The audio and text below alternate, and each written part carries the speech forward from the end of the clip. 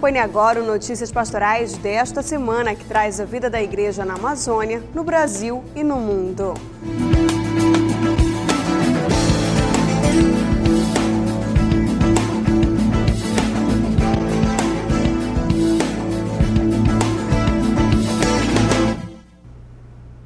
Olá, começamos o programa de hoje falando de direitos fundamentais, com o objetivo de mobilizar a sociedade a fazer uma reflexão sobre a falta de direitos de crianças e adolescentes e também despertar o sentimento de doação. O movimento República de Maús realizou sua 42ª grande coleta pelas ruas de Belém. Cerca de 800 voluntários participaram da 42ª grande coleta, divididos em 60 equipes. 30 recolhendo as doações por 11 bairros da capital paraense e 30 realizando as atividades internas. A motivação foi gerada pela vontade de ajudar o próximo. O que me motivou, eu acho que foi, sei lá, é a, a bondade das pessoas.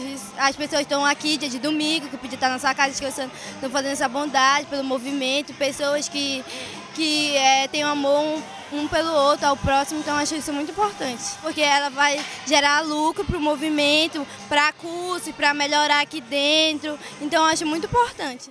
Participar assim, de uma solidariedade é, que motiva assim, principalmente nós jovens, e isso é muito bom, não só para quem faz curso aqui, mas para toda a sociedade. A grande coleta tem o objetivo de conscientizar a população sobre a realidade de crianças e adolescentes e, ao mesmo tempo, despertar o sentimento de doação. A grande coleta de Emaús ela tem, na verdade, dois objetivos.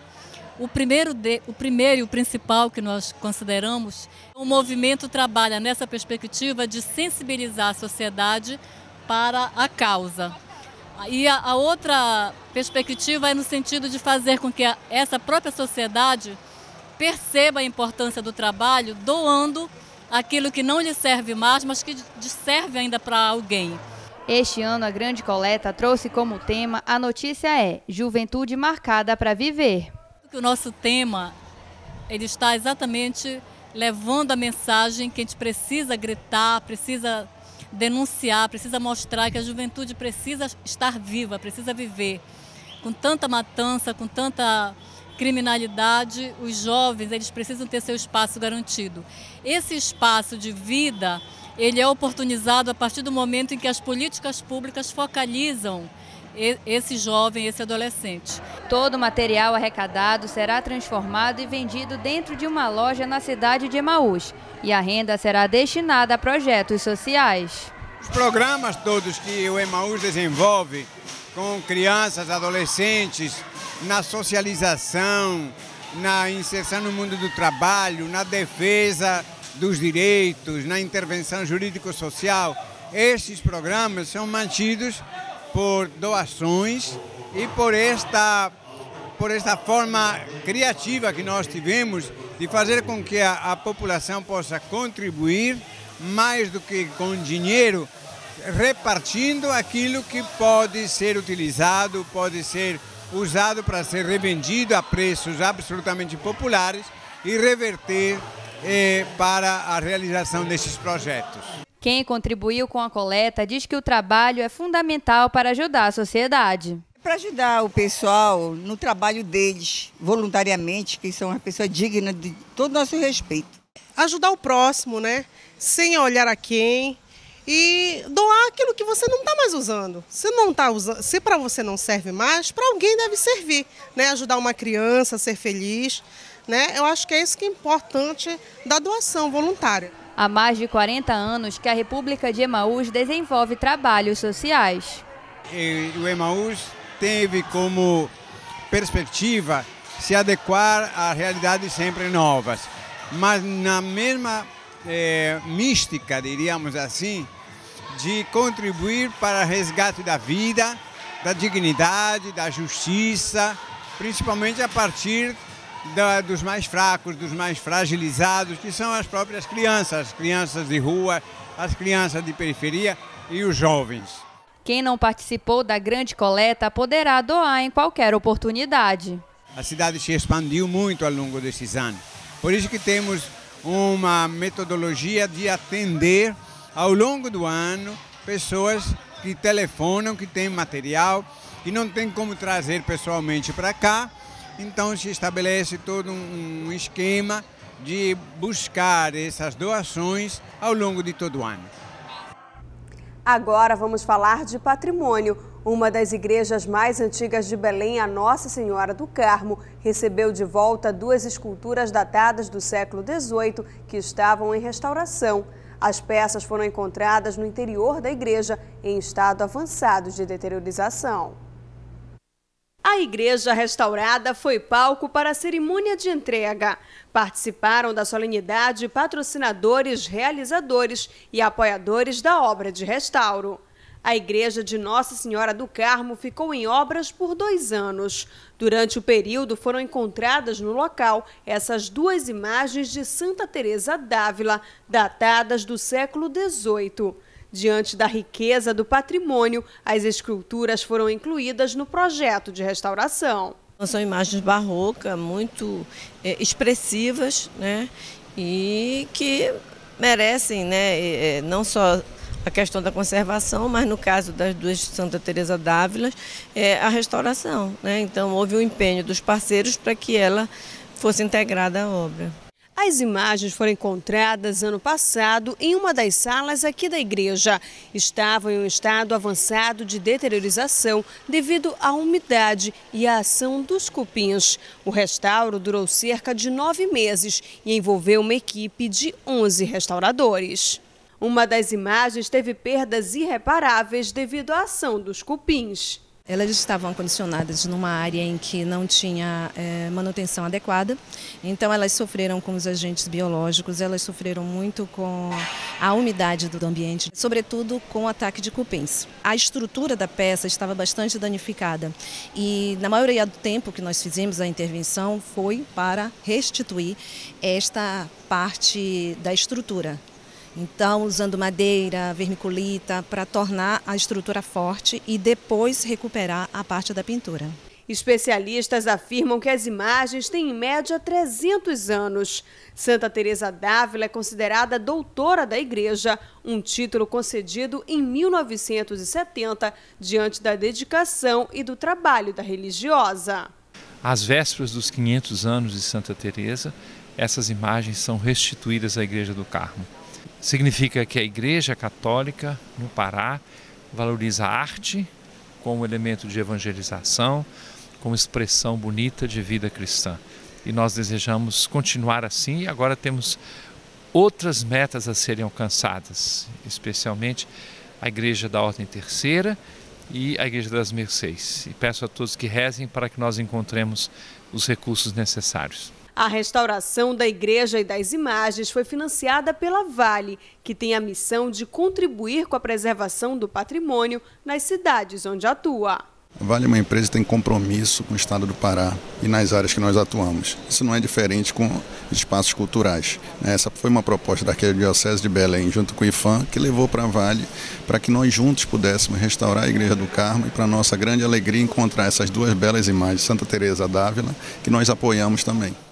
Após o retorno das imagens, o cuidado das esculturas ficará a cargo dos padres salesianos, que administram a Igreja do Carmo há várias décadas.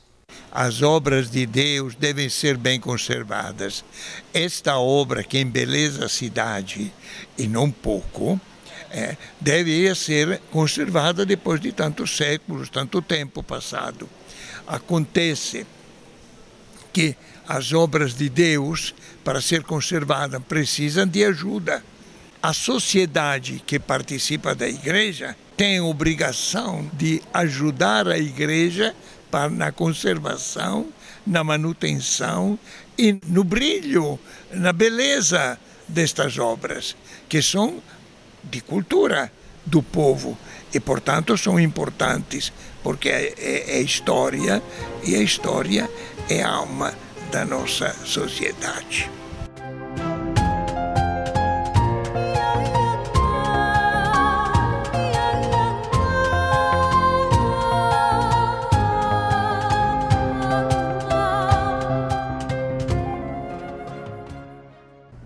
Neste domingo, a Paróquia de Jesus Ressuscitado, localizada no bairro da Marambá, em Belém, promove uma caminhada pela paz. A concentração será a partir das 16 horas, na Rua 1 do Conjunto Mendara.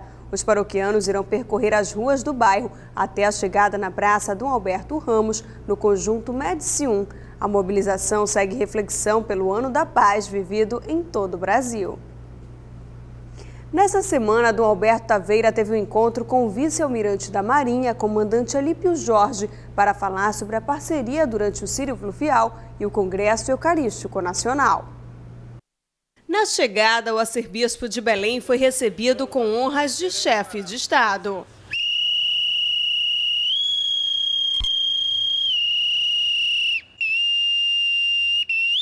O vice-almirante Alípio Jorge fez questão de mostrar a Dom Alberto as instalações do Comando Naval. No Salão Nobre, o arcebispo de Belém conheceu os oficiais do 4 Distrito Naval e participou de uma reunião com o comando. Entre os assuntos abordados, o fortalecimento da parceria entre a Marinha e a Arquidiocese. É uma experiência muito positiva. A igreja tem que ter o um relacionamento com todas as instituições da sociedade valorizando o que é bom, estimulando o crescimento das pessoas, a unidade. Então, visitar aqui o Comando da Marinha é para mim uma oportunidade privilegiada, pelo bem que eu sei que é feito aqui e em todas as áreas que dependem deste comando.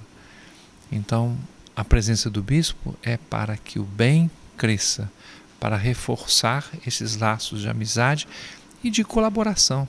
Podemos fazer muitas coisas juntos para o bem da sociedade, para construir exatamente este ambiente de, de bem comum, de respeito recíproco. O vice-almirante Alípio Jorge assumiu o comando do 4 Distrito Naval em agosto deste ano. Pela primeira vez estará à frente da Marinha no Sírio Fluvial. A oportunidade de realizar o nosso agradecimento pessoal a Dom Alberto né, por todo o apoio, né, pelo lado espiritual, que, que a igreja, né, através do nosso capelão Jailson também, tem dado ao nosso pessoal. E, e a oportunidade né, de tornar a rotina né, da nossa organização mais feliz, né, com, com a palavra né, de apoio e, e com a presença né, simbolizando né, toda a religio, religiosidade que a população é, de Belém, a população paraense possui. O encontro entre a arcebispo de Belém e o vice-almirante foi idealizado pelo capelão da Marinha, padre Jailson Silva. Esse era o grande objetivo, estreitar os laços para que juntos nós possamos fazer muito mais em prol do reino de Deus aqui na terra e especialmente na nossa querida Amazônia. Durante a conversa, Dom Alberto Taveira entregou ao comandante recém-chegado uma lembrança do Sírio de Nazaré e a programação oficial do Congresso Eucarístico Nacional. Na oportunidade, reforçou a importância da parceria da Marinha para a realização do Congresso. Nós teremos uma procissão eucarística fluvial que vai se iniciar em Manaus e vir até Belém, passando pelas dioceses. O tema do Congresso Eucarístico é Eucaristia e Partilha na Amazônia Missionária. Os nossos bispos estão felizes, empolgados com esta procissão fluvial que nós realizaremos. O povo está envolvido. De Manaus eu já tenho confirmação de 850 pessoas em dois ou três navios que eles fretaram. As outras dioceses também farão o mesmo. Então nós teremos uma grande presença da Amazônia toda no Congresso Eucarístico e é claro, esperamos que essa presença também traga gente de outras partes do Brasil. E nesse caso da procissão fluvial é fundamental a participação, o envolvimento da Marinha. E falando em Congresso Eucarístico Nacional, nesta segunda-feira, dia 5, a Arquidiocese de Belém promove uma reunião com entidades privadas para lançar o projeto de parceria ao Congresso. Na sede da Federação da Indústria do Estado do Pará, se encontrarão empresários de Belém que conhecerão os detalhes do maior evento católico do Brasil, que acontecerá aqui na capital paraense em 2016. Agora vamos falar de comemoração. Na última semana, a comunidade Sementes do Verbo completou cinco anos de missão em Belém. Uma missa em ação de graças foi celebrada por Dom Alberto Taveira. Tendo como objetivo principal formar cristãos na vida de oração, na vida espiritual e levá-los à evangelização, é o trabalho desenvolvido pela comunidade Sementes do Verbo. Formar discípulos pela nova evangelização, porque precisa hoje muito é um trabalho urgente e a partir da vida de crianças, de infância e de juventude, precisa de já preparar as vocações. Somos feitos não somente para uma vida social e profissional a realizar, mas também de se perguntar qual é minha vocação hoje, o que Deus espera de mim hoje. Então, nessa direção de formar discípulos e missionários pela nova evangelização, é nossa preocupação principal. A comunidade foi fundada em 2004 na Arquidiocese de Palmas, no estado de Tocantins. A comunidade Sementes do Verbo começou há 11 anos atrás, em 2003, quando encontramos Dom Alberto Tavera, que é arcebispo de Belém, mas na época ele foi arcebispo de Palmas, e nos encontramos num congresso lá em São Paulo, e nos chamou a eh, trabalhar na sua arquidiocese, visitamos a sua diocese, e depois foi assim que as coisas começaram, muito pequenas, mas a partir do chamado de Dom Alberto. No dia 30 de setembro, a comunidade completa cinco anos de fundação em Belém, o que é motivo de gratidão e felicidade. Quando eu cheguei a Belém e vi a situação dessa casa aqui no Tabor, logo Nosso Senhor me inspirou de trazer a comunidade Semente do Verbo pode-se ver como foi inspiração de Deus, não foi da minha cabeça.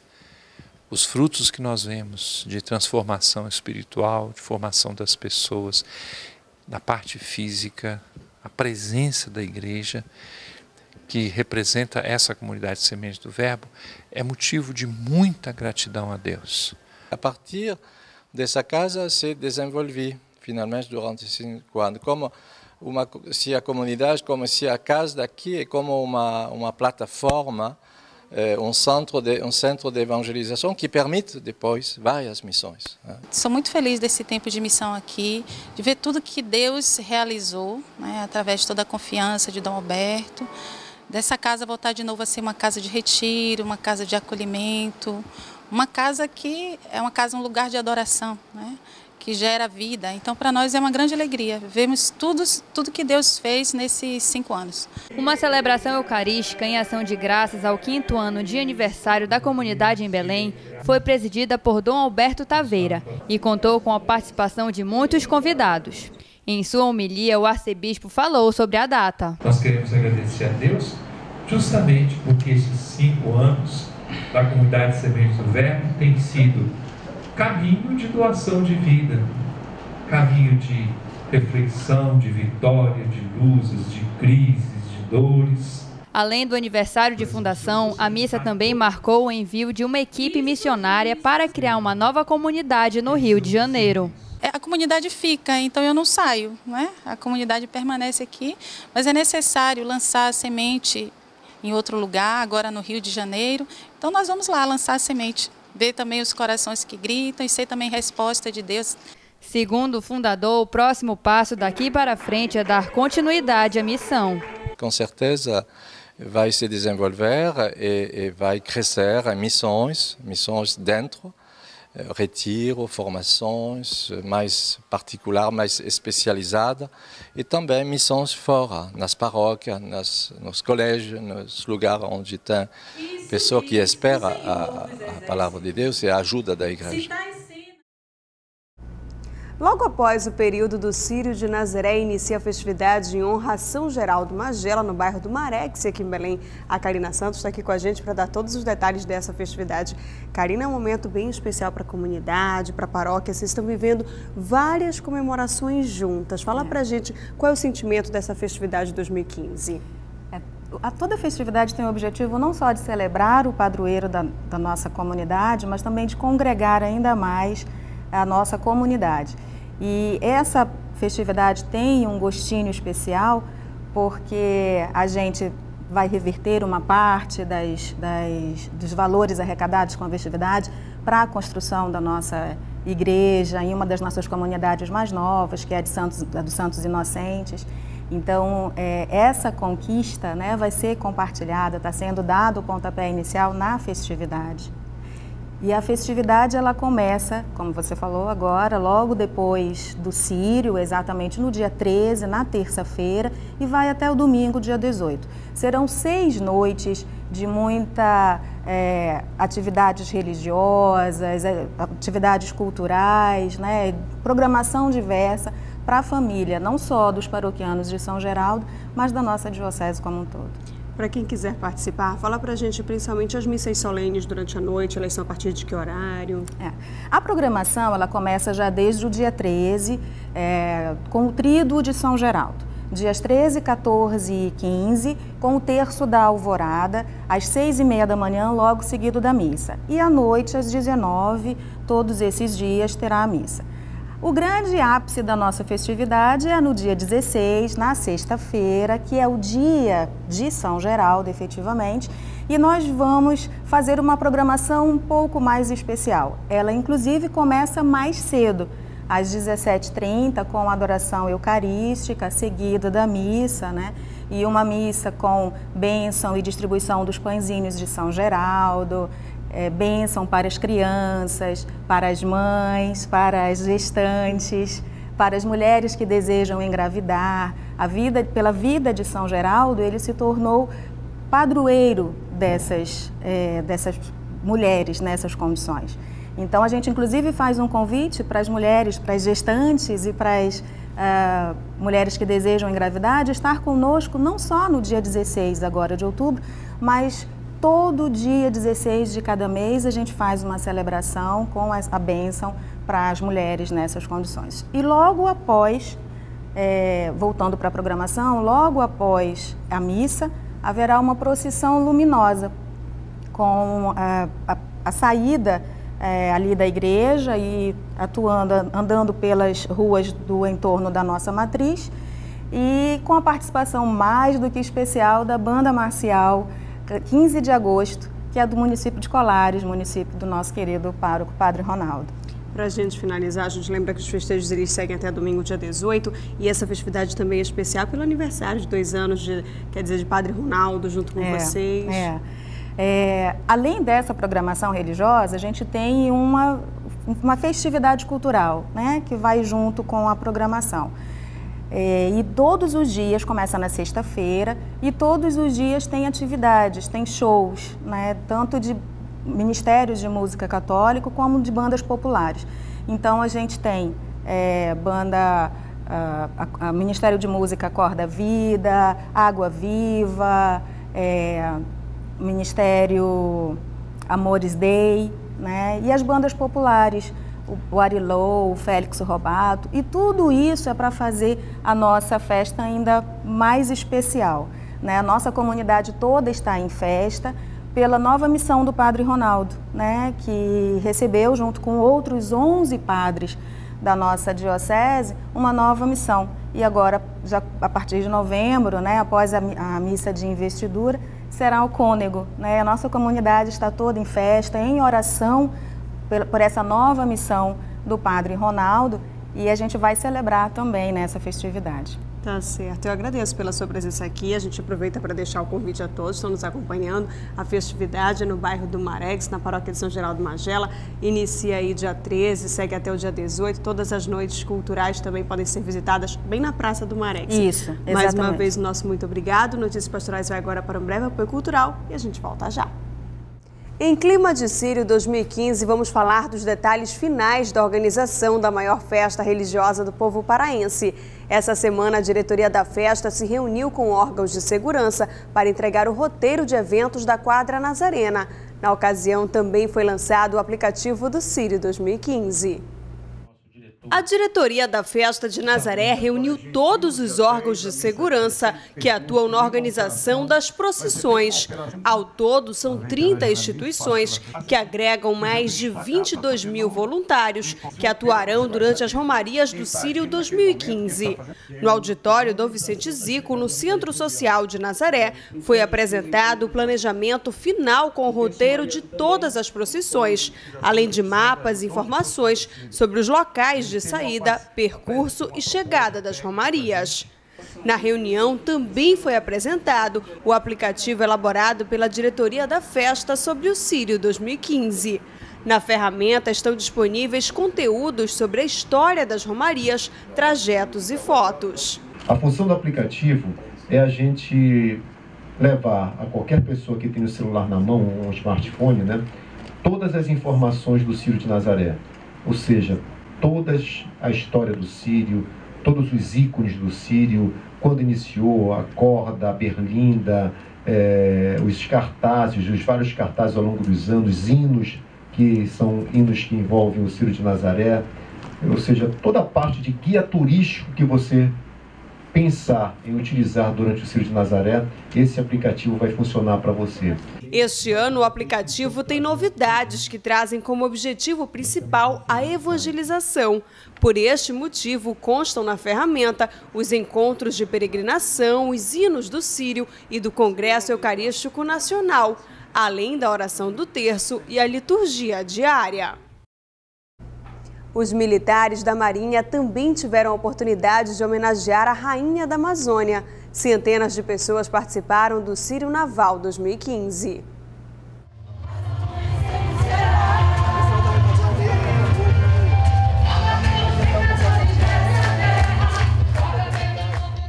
Nem o calor da manhã de domingo desanimou a caminhada. Pelo contrário, o sol aqueceu o corpo e o louvor a alma.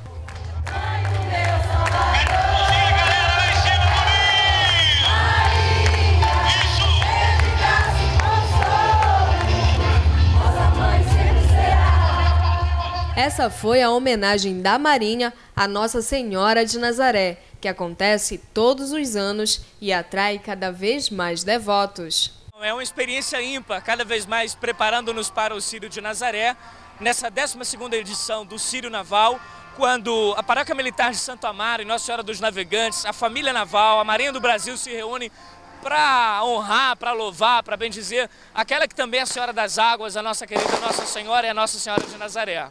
Pelo caminho, pequenas homenagens, casas ornamentadas e pessoas pedindo a intercessão da Virgem. Há dois anos, Paulo se reúne com a família na frente de casa para agradecer. A gente só tem a agradecer saúde, é, família unida, é mais agradecimento. Nós já temos muitas bênçãos, então não tem que pedir mais, é só agradecer. São quatro quilômetros de uma caminhada que sai da Vila Naval do Marex rumo à Paróquia Militar Santo Amaro. Uma caminhada que cresce ao longo dos anos. Essa é a 12ª edição e esse ano é o tema do Sírio, que é Maria, Mulher Eucarística, com essa alegria de Igreja Unida. O tema é trabalhado exatamente paralelamente àquilo que a Arquidiocese de Belém nos propõe. Então, esse ano nós também estamos trabalhando Maria Mulher Eucarística para mostrar exatamente essa comunhão que há entre Jesus e Maria, essa comunhão que há entre todos nós, porque somos igreja, somos felizes por sermos igreja e somos todos juntos e todos unidos. A devoção à Mãe de Deus aproxima. Ana Beatriz está na caminhada pagando uma promessa que fez pedindo a saúde da mãe além de levar as fitas e o pequeno barco de Meriti, voltou a frequentar a catequese. Acabei encontrando amigos muito legais, está sendo muito legal. Agora em novembro eu vou fazer minha primeira comunhão.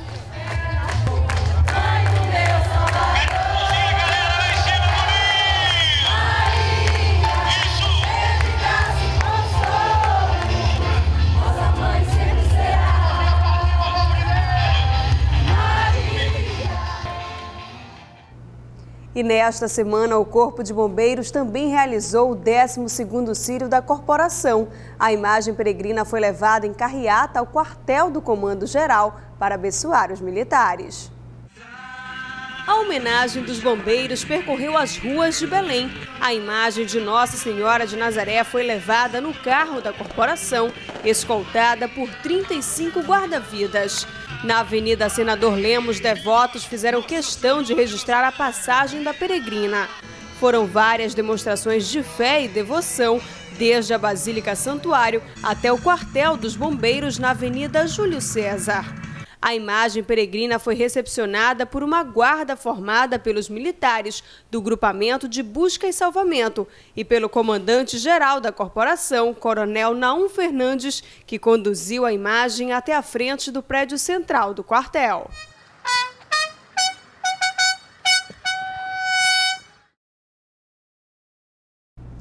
A paróquia da Santíssima Trindade está em festa pela festividade de Nossa Senhora do Rosário, que é a capela que pertence à paróquia. O João Libonati está aqui com a gente para falar sobre essa festividade.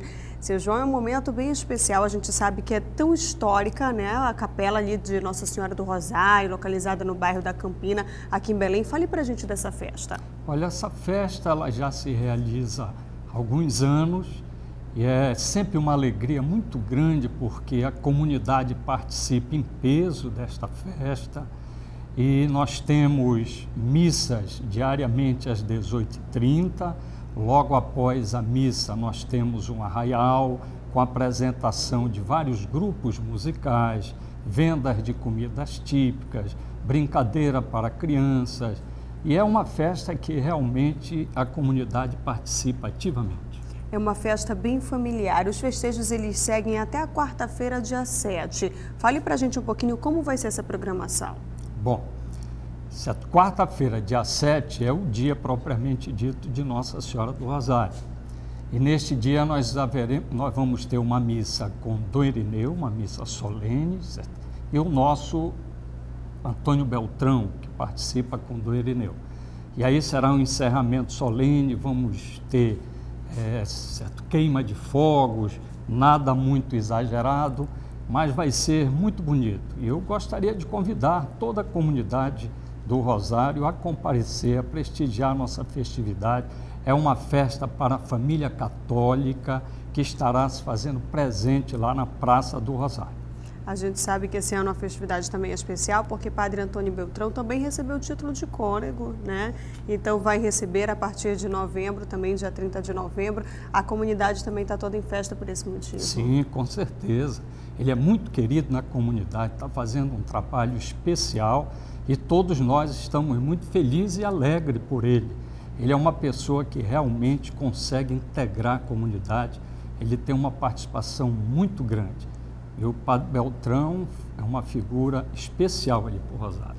Agora, para a gente continuar falando da festividade, a gente sabe que a Igreja do Rosário, como eu mencionei, é uma igreja centenária. Então, é um momento também especial de valorizar essa área do bairro da Campina, que a gente sabe que muitas vezes é um pouco esquecida. É verdade, é verdade. Nós precisamos é, deixar bem claro que a Igreja do Rosário precisa ser muito bem olhada. Hoje existe um grupo lá que é um grupo que não é grande, mas é um grupo muito ativo, que realmente trata aquela igreja e aquela comunidade ali ao redor dela com muito carinho, com muita atenção. E é bom destacar que hoje nós temos um apoio do governo do estado do Pará, que nos ajuda ali numa, numa fiscalização quase que diariamente. E durante a festividade, eles estão muito presentes lá, nos ajudando e nos apoiando formas que é uma festa que realmente é centenária, é uma igreja belíssima e que a gente conta com a colaboração e ajuda de todos, e principalmente a participação que a família católica paraense, principalmente ao redor da igreja, que é a nossa grande comunidade, esteja presente e realmente prestigie a festividade.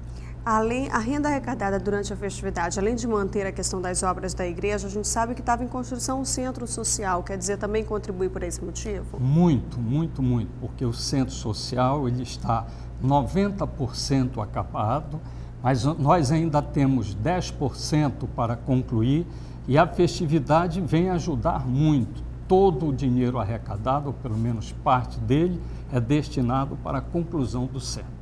Tá certo, seu João. Agradeço a presença aqui com a gente. Tudo de bom, uma ótima festividade para toda a comunidade do Rosário. Eu aproveito sua presença para que o senhor deixe o convite a todos que queiram participar dessa festa. Tá, e nós também agradecemos a comunidade do Rosário, o grupo de apoio do Rosário. Agradece imensamente a TV Nazaré por esta oportunidade e quero mais uma vez, em nome de todo o grupo, certo? convidar a comunidade do Rosário a comparecer à nossa festividade nossa, nossa festividade e prestigiar, que vai ser muito importante a presença de todos. Muito obrigado. Fica o convite estendido a todos, então. É até a quarta-feira, dia 7 de outubro. Nós vamos agora para um breve apoio cultural e voltamos já. Ainda falando sobre as entidades que atuam na segurança do Sírio, a Guarda de Nazaré é o grupo da igreja que atua na organização das procissões.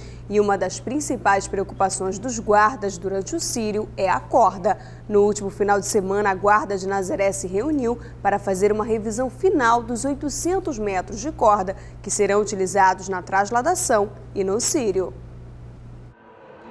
Os guardas se reuniram no Colégio Santa Catarina e, antes de começar o trabalho, participaram de um momento de oração. Santa Maria, Mãe de Deus, rogai por nós Foi a primeira vez que a corda foi integralmente revisada. A vistoria checou as argolas, os nós e as estações.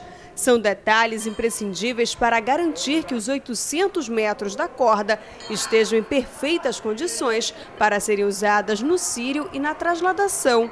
Juntos, guardas esticaram cada metro de corda que foram avaliados pela equipe. Agora vamos falar de devoção. Milhares de fiéis prestam homenagens a Nossa Senhora de Nazaré no período do Sírio.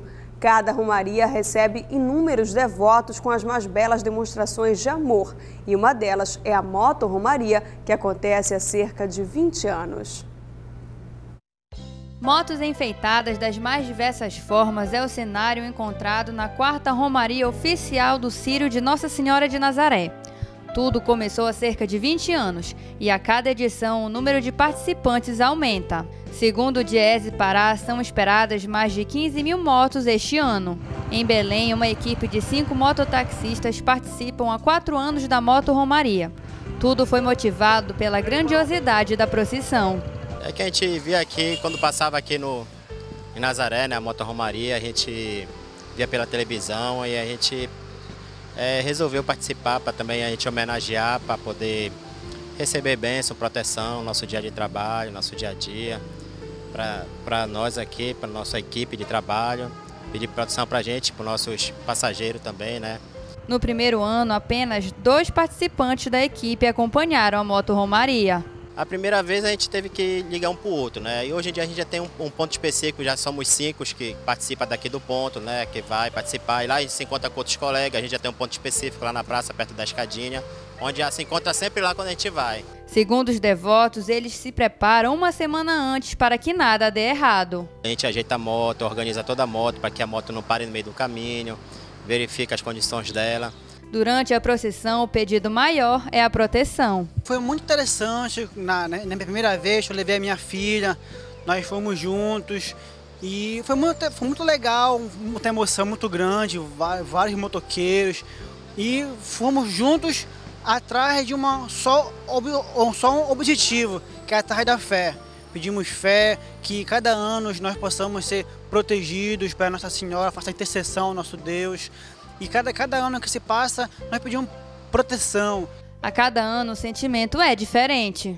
Cada ano a Santa vem de um modo diferente para a gente, uma organização diferente. É, os colegas se organizam de modo diferente também, né? E, e faz com que é, cada ano seja um ano diferente, especial, com muita emoção. Cada dia tem novas pessoas participando. Cada ano que, que, que a gente vai, a gente tem mais força, mais fé. Que nós possamos ter muita fé, que pedimos muita proteção, que cada ano que vem, a gente vem mais e mais anos, nós possamos acompanhar. Segundo os mototaxistas, para o Sírio 2015 a expectativa é grande. A expectativa está boa, a expectativa que se Deus quiser eu, eu vá de novo acompanhar mais um ano, pedindo proteção para esse ano de 2015 e agradecer ao ano 2015 que, que está terminando a mais um ano de Moto Romaria. Cada ano a gente fica é, ansioso, né? Se organiza aqui, a gente conversa, fica ansioso para que chegue tudo para poder a gente participar com alegria, com muita emoção sempre quando a gente participa.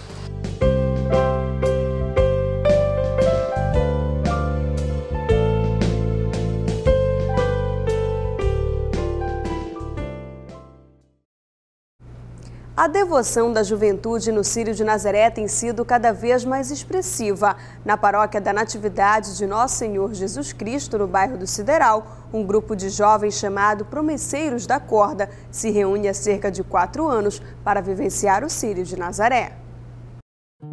Tamires faz parte do grupo Promesseiros da Corda. Ela tem 22 anos e desde os 10 dedica seu tempo à paróquia Natividade de Nosso Senhor Jesus Cristo. Sua devoção por Maria começou quando ainda era criança, seguindo o caminho dos pais.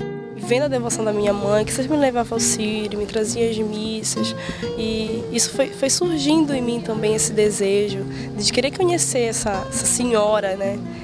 Que senhora é essa que tantos, que tantos amam, que tanto, que tanto as pessoas amam e fazem promessas. Como eu era criança, né, não entendia direito, mas desde então eu fui buscando isso e Nossa Senhora foi, foi, foi entrando na minha vida. No Círio de Nazaré 2015, uma nova história será escrita na vida da jovem, pois ela acompanhará a trasladação e a romaria do Círio com um grande objetivo. O objetivo real da promessa, né, não veio através de mim, assim, Muitos estão pagando promessa, só que eu que digamos que eu fui que eu que puxei a ideia, né? De nós sairmos, sairmos daqui da paróquia até a Basílica andando. Jonathan também faz parte do grupo dos Jovens Promesseiros. Além de pagar a sua promessa de concluir a faculdade, também será solidário à causa de Tamires. Desde pequena nos conhecemos e nós somos amigos de verdade mesmo. A gente está sempre, quando a gente está tá lá embaixo, a gente ajuda o outro, e quando a gente está em cima, a gente ajuda também o outro. E por ter essa, esse laço de amizade tão extremo assim, é, alicerçado em Deus, e é assim como a gente, se, a gente se trata com carinho e como ela resolveu, passou no vestibular, fez essa promessa. A gente, nós, nós como amigos cristãos, não iríamos deixar ela sozinha. Então a gente pegou e não, vamos te ajudar, vamos junto contigo para mostrar que nós somos amigos cristãos. O grupo vem se preparando espiritualmente para vivenciar o Círio de Nossa Senhora de Nazaré e a oração é o que move os jovens. Débora participa do grupo pela primeira vez e o amor por Nossa Senhora é a motivação da jovem. É, a minha motivação foi a persistência dele todos os anos na corda, né? E a causa da Tamires, que com muito amor ela conseguiu alcançar a promessa dela. E como eu vou pagar a promessa esse ano, é, tudo veio junto. Então é por amor, muito amor mesmo. Não só Tamires, mas aproximadamente um grupo de 15 jovens aqui da paróquia Natividade de Nosso Senhor Jesus Cristo vão acompanhar a trasladação e o Círio de Nazaré. Para eles, todo o esforço vai valer a pena. Vale muito a pena, vale muito a pena, muito a pena. Não tem. Nós esperamos o ano todo. Quando chega esse período de Círio, assim, chega o nosso coração fica vibrando de tanta alegria. Vai valer muito a pena, porque o que nos move é Deus. Nossa Senhora está sempre ali do lado. E ano que vem nós vamos rezar o ano todinho para que ano que vem nós estejamos aqui firme e forte, pagando promessa. Então tudo vai valer a pena, porque a, partir do momento que tu decide fazer, né, e já é uma decisão assim extrema, então vai valer, já está valendo.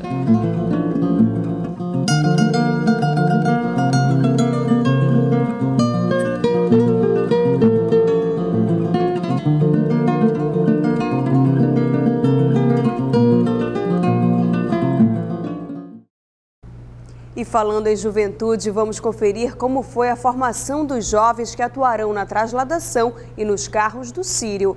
Eles passaram por uma formação ministrada pela diretoria da festa.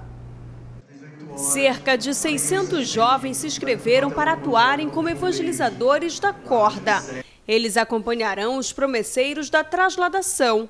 As orientações de como atuar foram repassadas pela diretoria da festa. Aqui eles recebem, além das orientações gerais, um pouco da palavra de um sacerdote sobre como eles têm, eles têm que estar envolvidos espiritualmente para realizar esse trabalho.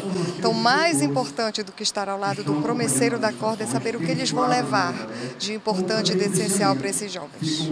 Nós temos umas orientações que estão sendo passadas para eles hoje em relação à sua postura, o seu traje, como eles devem abordar os jovens promesseiros, em relação às promessas porque estão ali nome, paróquias ou comunidades que fazem parte, às vezes não fazem parte de nenhuma comunidade. Mas é uma forma de a gente ter um perfil desse jovem que está pagando a sua promessa ou agradecendo qualquer graça alcançada.